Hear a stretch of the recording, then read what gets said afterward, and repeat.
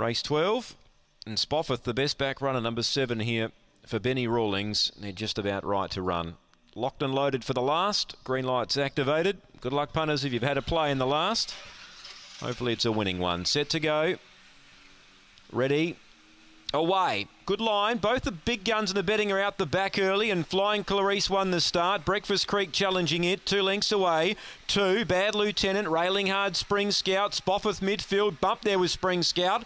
And last Loud Missile on the bend. Leader still Flying Clarice. They haven't got it yet. Breakfast Creek, Bad Lieutenant are both trying. Flying Clarice hanging on. Does enough from Breakfast Creek and Bad Lieutenant. Spofford got warm late, got fourth, then Spring Scout. Both favourites never look likely and Loud Missile last in.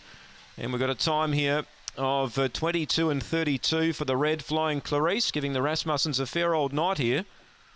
Had a good night out, the Rasmussen team. And one is the winner, Flying Clarice, leading all the way. They just couldn't get it. Breakfast Creek tried really hard. And Bad Lieutenant poked through late to get third ahead of Spofford, who never really got warm. And Spring Scout didn't really want to be on him at any stage of the race. He was trying to rail up, but in the end, he he just kept running into backsides. Three quarters the winning margin by half a length. It's one, five, four, and seven. One, five, four, and seven, which takes us away from Angle Park. Paul we'll shoot the all clear down the line. I'll say uh, good evening and rejoin everybody from Oakbank on Wednesday.